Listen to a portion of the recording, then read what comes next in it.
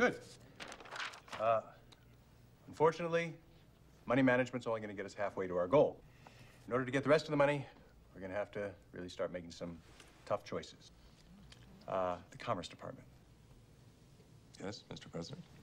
You're spending $47 million on an ad campaign to boost consumer confidence in the American auto industry.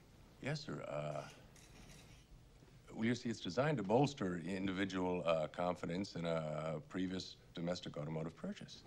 So we're spending $47 million so that somebody can feel better about a car that they've already bought?